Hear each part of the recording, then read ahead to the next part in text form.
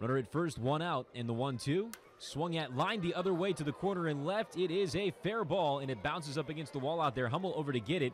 On his way for third and being waved in, Castellano. Throw comes home to the Newhouse. Here it comes to the plate, and it's dropped by McDowell. It was in time. McDowell couldn't get the handle on it, though, and sliding in safely is Castellano.